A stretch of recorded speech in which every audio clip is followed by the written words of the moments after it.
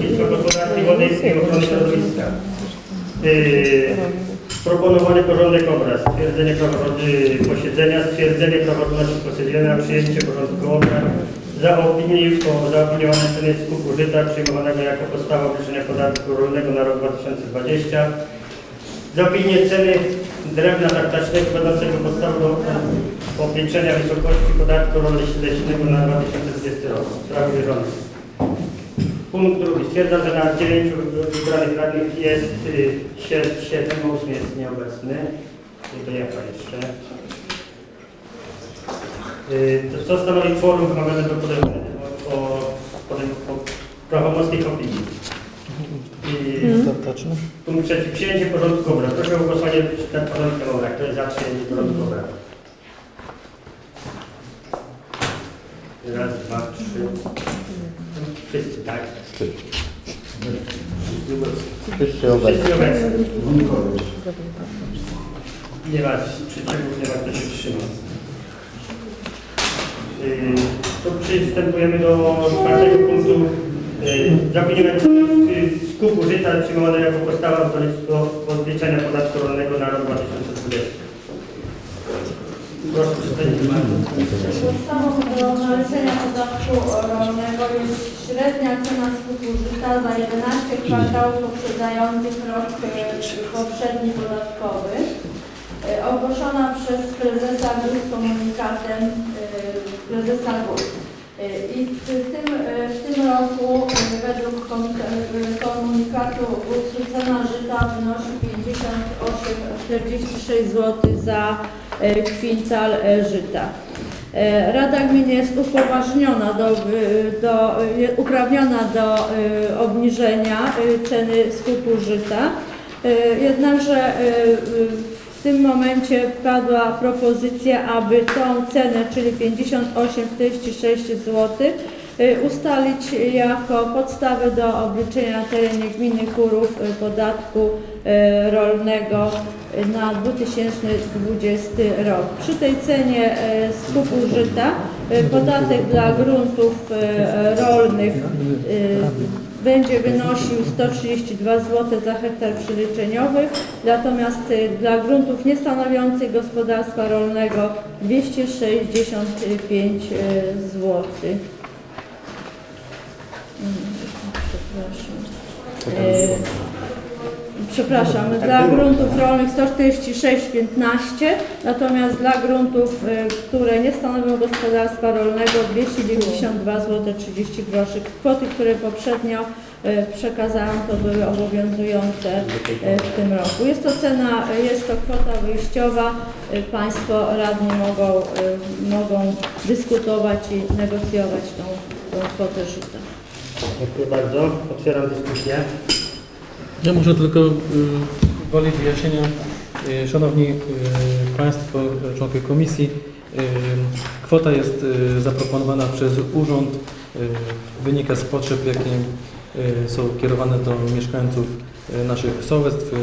Nasza gmina jest gminą rolniczą.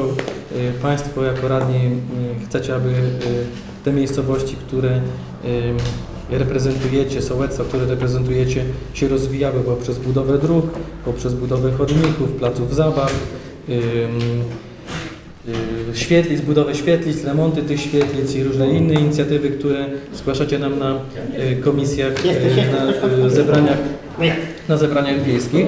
Oczywiście, oczywiście sytuacja, sytuacja w rolnictwie, jak sami dobrze wiecie, jest, y, nie jest łatwa, dlatego y, ta y, kwota jest kwotą wyjściową i chcielibyśmy, abyście Państwo podjęli decyzję o kwocie obniżenia górnej stawki podatku rolnego. To jest propozycja wójta urzędu. Przekazuję propozycję Państwu pod obrady. Po dyskusji y, wypracujecie y, stawkę, którą powinniśmy uchwalić. My Państwu wtedy przedstawimy, jakie to są skutki y, obniżenia podatków, powodują skutki, jakie skutki finansowe powodują obniżenia podatku dla budżetu, czyli dla wspólnoty gminy Kurów, czyli dla wszystkich mieszkańców w planowanych inwestycjach. Dziękuję. Jaka propozycja? Coś? Może ja zajmę głos jako jeden z najstarszych radnych i jeszcze e, rolnik, że w związku z e, istniejącą sytuacją na wsi, teraz te susze, te wszystkie rzeczy, wszystko wzrasta. I ja bym był za obniżeniem tego podatku rolnego do pozycji najwyżej, co obowiązuje nas inflacja o stopień e, podwyższenie według e, zeszłego roku poda, podatku, co było bodajże 53 zł z groszami, e, 53 z groszami tam 53, było. 20, 53 z groszami. 53. 53. To o stopień inflacji tylko, żeby to nie kolidowało e, z tego. Wiemy jakie trudności i susze e, rolnicy w związku nawet ze skupami e, e, trzymali czy wszystkiego, że e, nie jest to wszystko skupione nawet od rolników. I ja bym wystąpił e, właśnie, co obowiązuje nas, e, kwestuje, że inflacja nas obowiązuje o stopień inflacji. Że to jeszcze mogę? To ja Państwu po- y, w następnych, w następnych pozycjach podatków, które będą Państwo uchwalali, propozycje nasze były o podwójną inflację. Czyli 2, około 16 procent, tak? Bo inflacja jest 1,8. 1,8, czyli 3,6.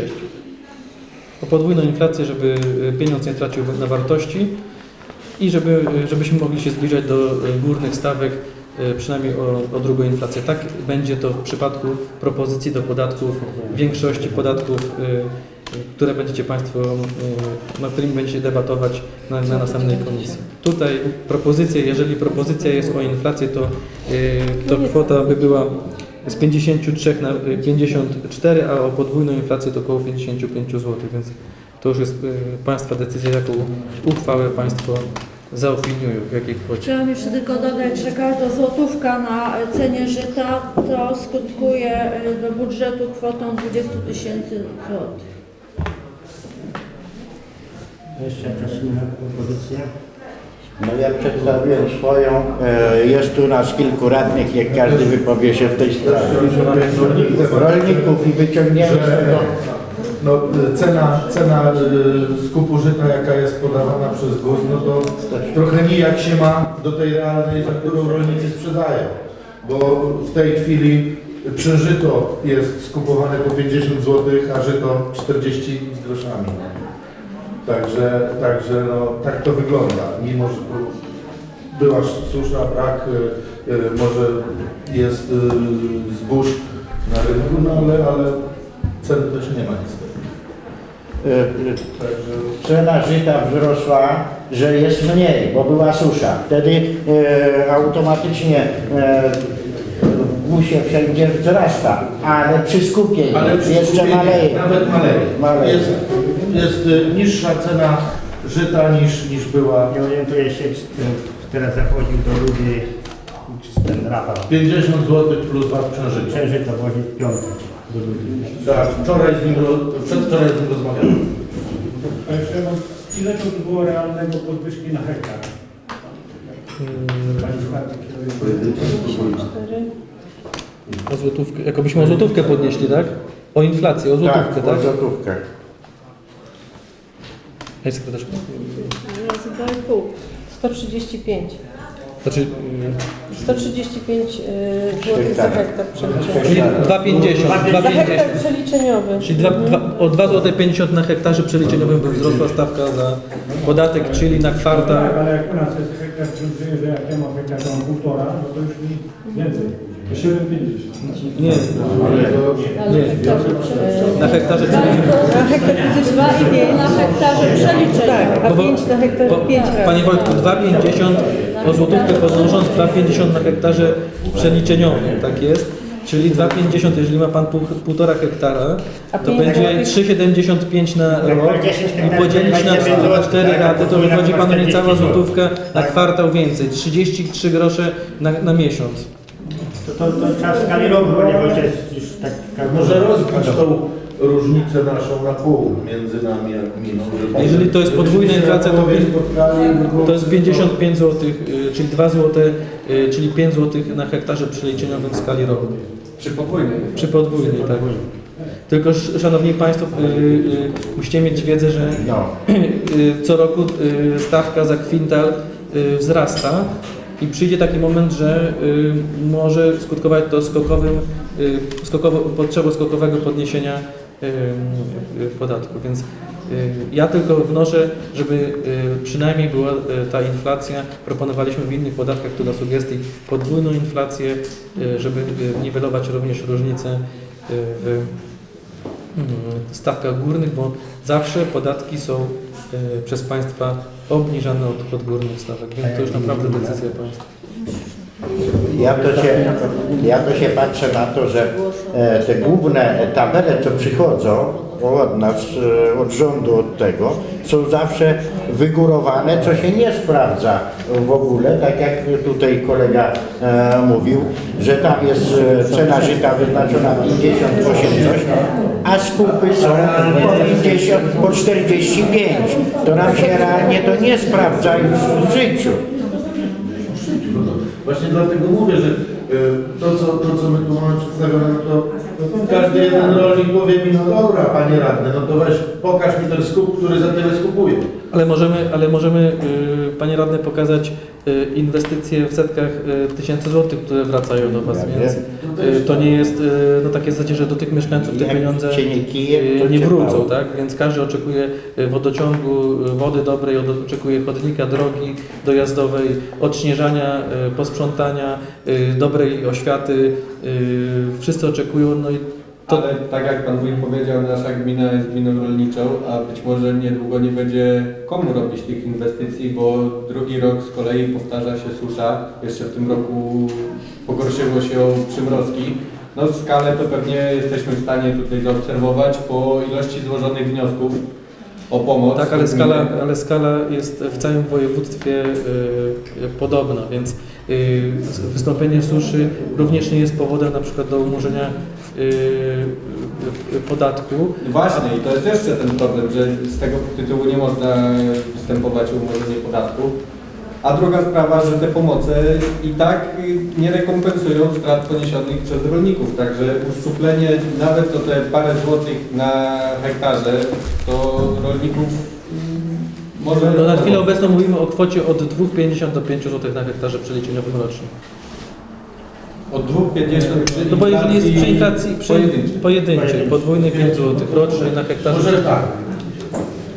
Wiem, że w, w, ko- w gminie Końskowola było ustalone bodajże y, 56 zł.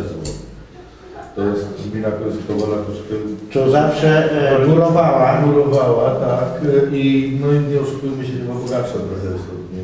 No ale dlatego też jest zbiera większe podatki. Ale zawsze dużo wyższe miały na gmina Końskowola uchwalali podatki. A w tym roku ile? 56 przyjęli, cenę skupu żyta przyjęli jako 56. Ja szanowni, szanowni, szanowni radni, ja powiem tak, że ja bym chciał odchodzić od tego, żeby porównywa, porównywać się do innych gmin, bo każda gmina, jak każde Tak, gospodarstwo to ma swoją specyfikę. Więc tutaj jest naprawdę y, trudno y, nam o tym mówić.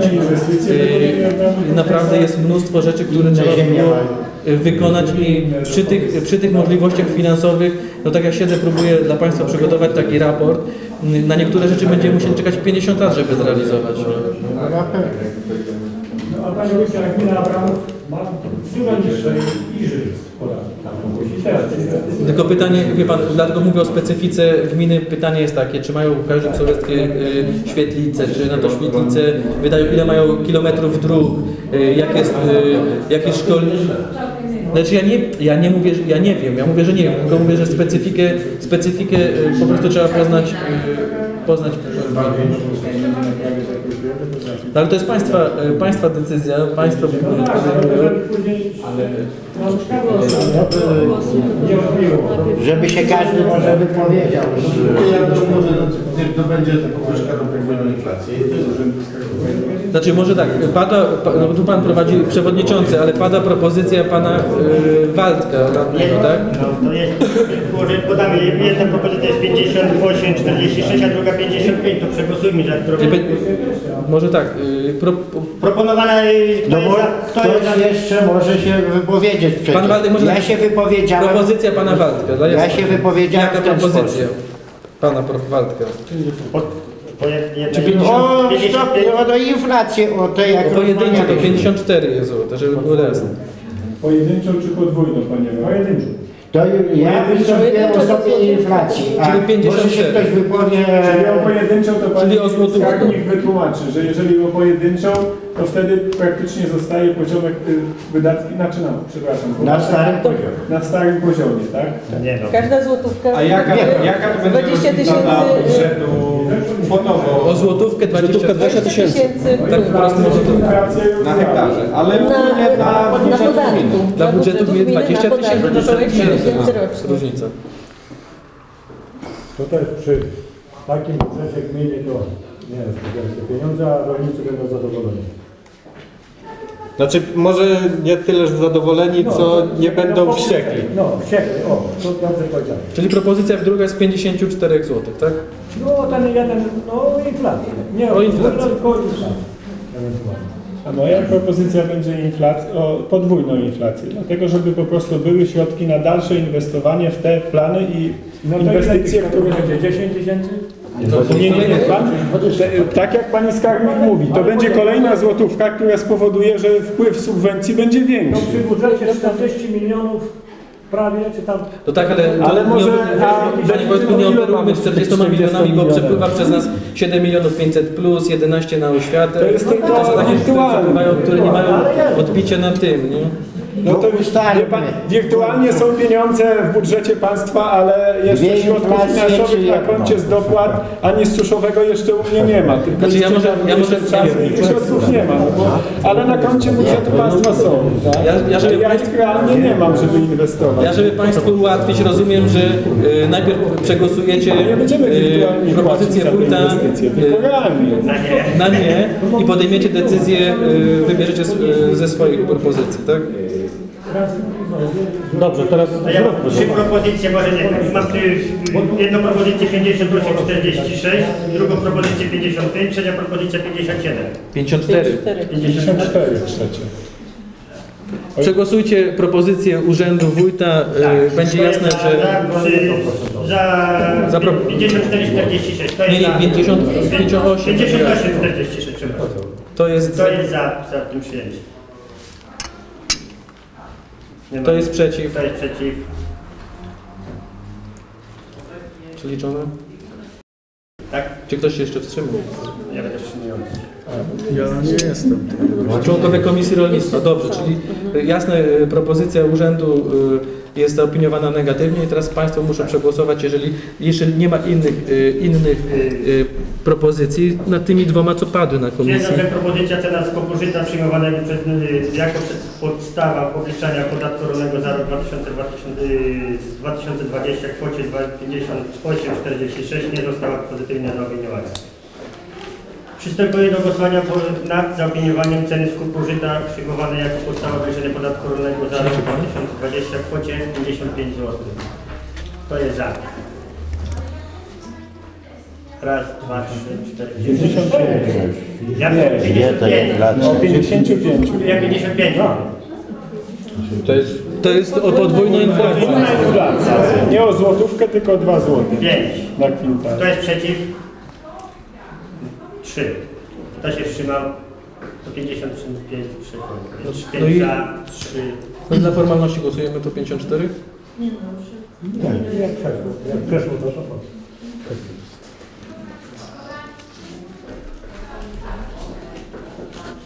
Wynik. 50, 55. 55. Stwierdzam, że propozycja ceny użyta przywołana jako podstawa obliczenia podatku rolnego na rok 2020 w kwocie 55 zł została pozytywnie zaopiniowana. Następny punkt przyjmujemy do relacji porządku obrad zaopiniowanie y, podatku leśnego na rok 2020. Proszę o przedstawienie tematu. Średnia cena skupu e, drewna plasticznego obliczona według ceny uzyskanej przez za pierwsze trzy kwartały 2019 roku ogłoszona komunikatem prezesa dnia 18 października 2019 roku. E, która jest podstawą do naliczenia podatku leśnego e, wynosi 194 zł 24 grosze za metr sześcienny. E, Podatek leśny za 1 hektar fizycznych gruntów e, leśnych zgodnie z ustawą o podatku leśnym wynosi 0,22 metra sześciennego ceny drewna tartacznego. E, co daje cenę za hektar, kwotę podatku za hektar fizyczny lasu 42 zł 73 grosze. E, Proponuje się wzorem lat ubiegłych do pozostawienia tej stawki jako stawkę podatku leśnego w gminie Kurów na 2020 rok. Kwotę 42 zł 73 grosze za 1 hektar lasu. lasu. Jeszcze tylko Państwu powiem, bo to jest y, skutkiem dla budżetu gminy, jeżeli Państwo pozostawią y, zaproponowaną przez y, GUS y, cenę, to jest skutek dla całego budżetu gminy kwotą y, 900 zł. To nie są jakieś sytuacje.